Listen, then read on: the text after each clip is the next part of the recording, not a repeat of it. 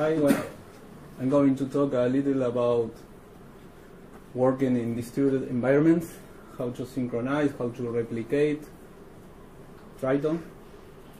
Um, first of all, there is no one magic solution for this. There are different scenarios, different needs. So first we can talk a, a little about what we have right now with Postgres, what solutions we have. Since version 9, we have the long awaited replication in Postgres. The streaming replication works with the WAL. Is this that the logs are shipped, are sent to the slaves. Every change that you do in your master are sent to the slaves. It duplicates everything. So you have a, a copy. It's good for failover. And even, I think since version 9.1, you can make read-only queries to the slaves. So you can even do some kind of load balancing with Postgres to do the, the reports or, or that kind of stuff. Another kind of, of replication is the, the, the trigger one. This is more flexible in, because you can configure what you want to replicate, maybe some tables, and even you can use different Postgres versions, different version of the operating system. In the first one, in the Postgres uh, stream replication, doesn't doesn't work. You have to you need the same Postgres version and operating system. But in with with applications like Slony for master slaves or or Bucardo, um, you can configure some tables, do some parameterization, and and then it, it will create the triggers and every time you do some record update, insert, some operation, it will um, copy the, declaration to the table, and the table then gets copied to the to the slave or the master. There are other options. Symmetric DS is an open source software to do multi-master replication written in Java. And it's not only for Postgres, it works with a lot of database management systems, commercials even. Another project is Golconde, it's a Python application. It's a queue-based replication, but I think this project is it's not going, it's not maintaining right now. I think since 2009 it gets no no new commits. So this is basically but what we have, different kinds of of systems that we can use to, to make the the replication, the, the synchronization at database level. Um, but what about synchronizing at Tryton level? In the first conference, Maximilian showed us uh, the synchronized module that he, he made for the point of sale client. And it worked with in and out direction, uses the timestamp to determine um, the records that are changed and replicate. It works with Tryton translations and you can do XML configurations to create, for example, I want to, to replicate the products, I want to replicate the accounts, you can configure all of that in XML and you can upload that XML and, and it, it will work, send and push and pull information. it works. It is uh, it is was written for Python 2.4, but right now he sent me an active record patch, and, and I think we are going to to push um, to Tryton to update to Tryton 3.0. this is a, a screenshot of how can you, you can select a module and configure what fields you want to replicate. Um, here in the bottom goes the mappings because it takes care of the of the many of the relations, the model relations. If you if you get a new ID on the other on the other server, it will store the mapping. It, it works well at, at that level. But as Luis told recently, uh, now we have the Jamaica scenario, and we need the unique unique patient ID. So, Lisa already, already told we, we have four areas in Jamaica that will replicate to the Ministry of Health, and the primary health centers will replicate to the main hospital of every area.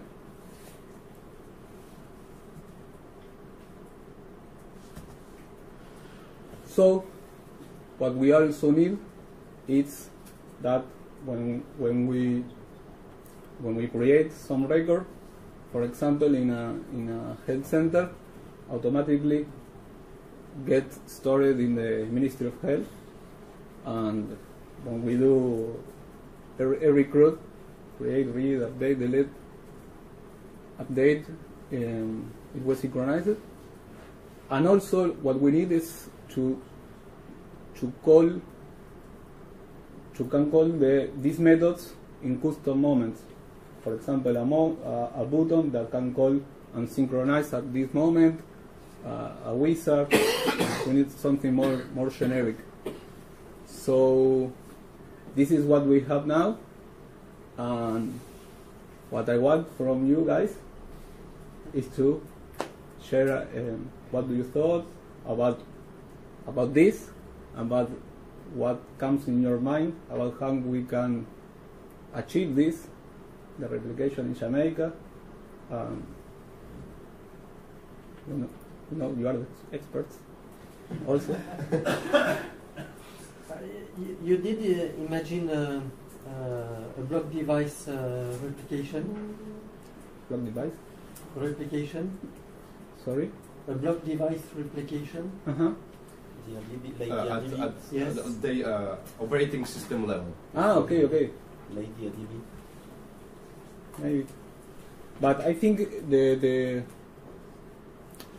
it is important also take care the, the Tryton level because of the of the access rules, the the translations. There are so many things that uh, it's, it's important to take care about and work also at the Tryton level.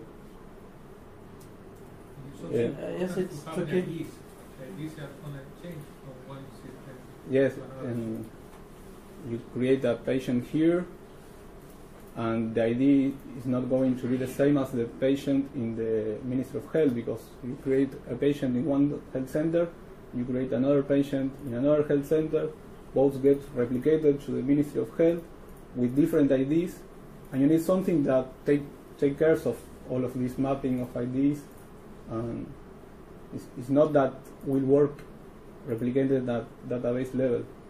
We need some more complex Mhm. solution for this.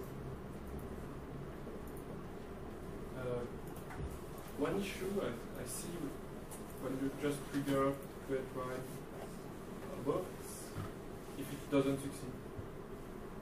If you cannot write on the other database. How Uh, and, and it's slow, I think.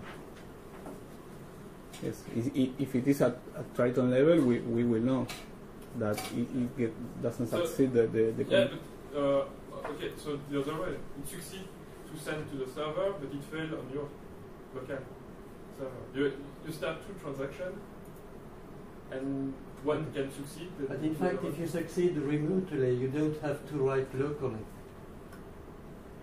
we But have if it fails when, locally, when the patient comes later? to your office, Because, because it's useless if you have it uh, online.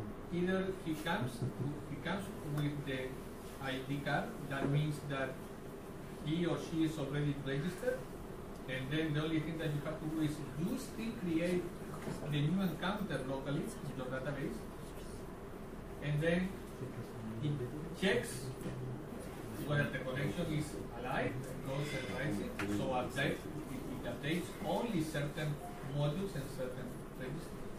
Um, now imagine that the connection is down for whatever reason, it will keep the information locally until that, until that link is up, and then the same synchronization process will go to the database, to the master database, and try to pull it. Uh, still have conflict. Uh, the patient also goes to another health center, and two doctors uh, change something, and the same field is different value. I don't know. But you, have, but you always have the creation and modification text on those, uh, on each uh, record. The encounters are unique, so even if they go to different places, they will have the same encounters. Same place, First, uh, the uh, ID uh, made of uh, hash, or is it uh, ID with the meaning? Uh, is it the number which uh, must uh, follow some cri- criteria? We have for one for one side you, we have an ID generated with a sequence, a special sequence. And every time we create a new patient, we must query to the Ministry of Health to get that that sequ- sequence. I think. Uh, you can use sharding.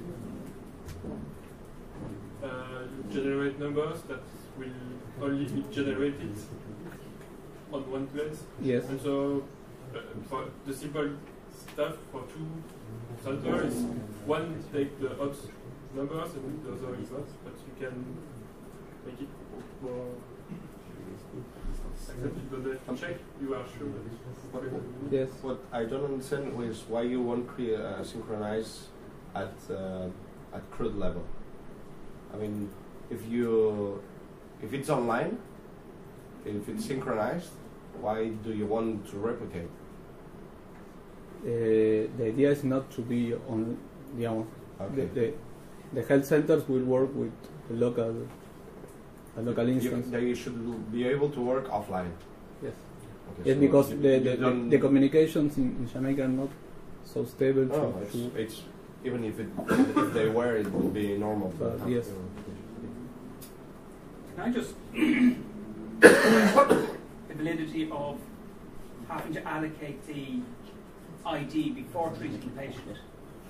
Because if, if you have a, a system that's temporarily offline, you can treat the patient, you can record the data, and allocate the national registration ID after the fact. If you're using the patient ID as a primary key in the No, system, no, no, no. that'll be an error. it's, it's not a primary key in the, in the system. If it's not a primary key, then you can allocate the ID afterwards when the system comes back online.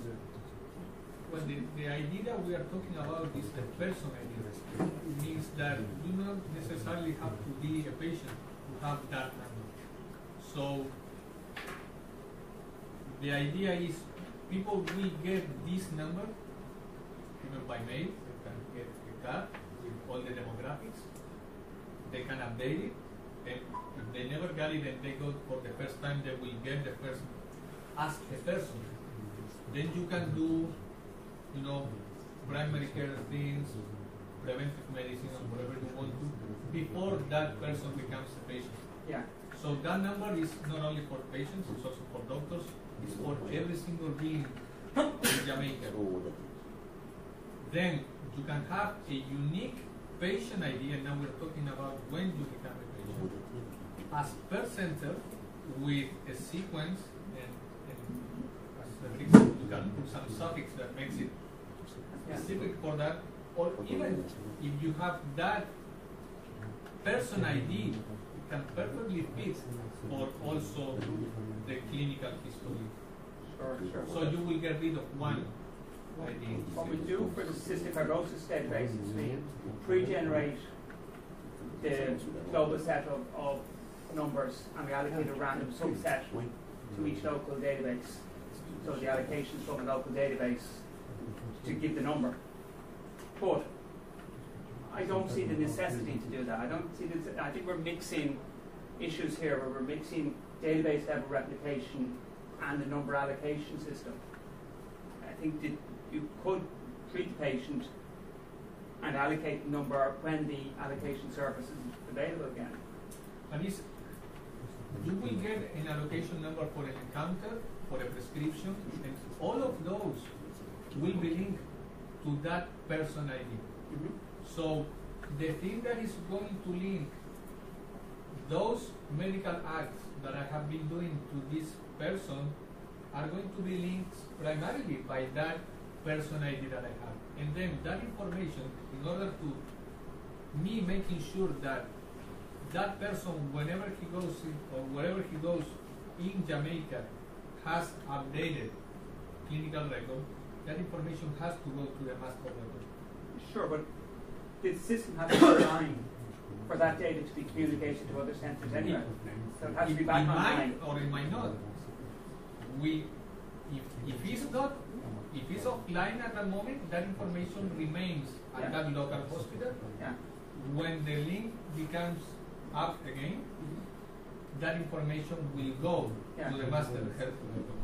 Yeah. Now, it can happen that he, the communication line is down for a long time, and then that information can be given to the card that the patient has that we should be able to pick their the latest encounter that they have. So imagine that the communication is down and he already or she already has the card. In that card you have the clinical history. Yeah. So you go with that to the other center, Yeah. you already have the ID, you swipe it, and you will update it locally again. That's in the case that the communication is out. So you will have that like a sort of a backup Yeah. for, uh, you know, for the communication if it's down. If it's up, you don't need that. You will have the master record already updated with the latest encounters, with with the latest prescriptions. Yeah. Uh, what if someone has a card, they've been assigned an ID, they show up at a hospital without their ID, for whatever reason, it's at home, they lost it, uh, you don't want to make a new record, you make some temporary setup until you can find what their number was, or, or, Well, in that case, it's either if he's conscious or he's somebody and say, well, I am whatever, and he remembers one of the IDs, remember you have, you can have the national ID, you can have the passport number, or whatever, we can retrieve you by other things. So if you exist, you put it now. If you're unconscious, you put it as an NN, and then later on, you will be, that clinical data will be updated uh, how would you update this card? Let's say he's conscious, you find him on the computer, but uh, you also want the card to always be updated, you just wait till the next time that card comes to a medical center, and then. it's Oh, you're saying that he doesn't, he He doesn't doesn't have come. it, he, oh, if he comes to the hospital Well, without his card. but the information is already updated, so he can come tomorrow and the same process of saving that information on the clinic that he goes, he can do it the next tomorrow. The information of passing what I have on my local database to the patient card, it doesn't really have to be at the same moment. No, but it sounds like it should be as important as, as any other replication, that every source of information should be as up to date as possible. Yeah, but if he doesn't bring it, it's a matter of, you know, either you tell him go home and bring it back, or uh, it, it's more of a mechanical part here where you, I mean, education is, of course, patient education, and it's like with you your ID. You forget it at the moment, they send you, uh, go identify the streets, the police. Will there be something built in that the next time that card comes to an updated center that's, if it was swiped to be read, it will automatically be updated if it is found that the card is out of date? Well, yeah, the moment that you do the uh, download or export of that information, we will update your card because you will already have the latest information. No matter, say you, you kept it at home for 15 days, then you come with it and you went 14 days to another places to put it, and if the master record has been updated, then you should be okay. Now, if the master record hasn't been updated and you go to a particular center, then it might be an out of synchronization issue. But those are rare cases. We have to take them into consideration, of course. But I don't see that complicated the part of downloading. is like the HL7. You know, if you generate the message, you might generate an HL7 message, or you might generate an XML or whatever you want that goes into that card. And that is one operation. You put it there and it's updated. It doesn't even have to do a synchronization to see, okay, what do I have and what Just is the data. overrides. But overrides because it's supposed to have the latest. I don't know uh, exactly if I understand, uh, but uh, for me it sounds not good to have uh, synchronization on CRUD. So when you make uh, CRUD, you already do a database connection. So maybe the problem is on the database. But um, for me, it, it is not good to, to have fixed point in time or uh, an incident where, where you make a synchronization because it, it could be every time that there is no internet connection available. So um, maybe it's much better to have some communication process between uh, two uh, clinics uh, with an uh, additional protocol like like AMPQ or something like this. It's, it's, uh, or the Java Java Java message publisher. Yes. Uh, that's what I was Then we, we It can looks look like into that. But just send message. message. I've updated this, I've added this information and you queue it and process. But you say that you broadcast from that to the other health centers that are around? Mesh- It, it sounds to me that if you have a, a, a master record where you have all the information on that and you keep that master database updated, it looks simpler. Yeah, you, you can send all the message to the same. Yeah, yeah, no, no, that's, I think that we're talking the same. If, if we do it at that high level, where you go check, you do a ping, you check what was the latest say encounter. Okay, what was my latest encounter locally? If that one is newer, then bring it back here. And then I do the encounter and then synchronize whatever it's, it's like a remote. But But you do it at a, at, at a high level. there's something I think I, I, I'm not really understanding there. I mean, you really need to have every information synchronized without a reliable internet connection. I mean, that's not achievable. No, no, we're Never. saying that you have you have certain models that need to be um, converted in one place. Because if we don't have a conversion process, the unique ID concept goes nowhere. So the, the real issue here may be how to merge the information from the different health uh, centers or whatever. into that master database.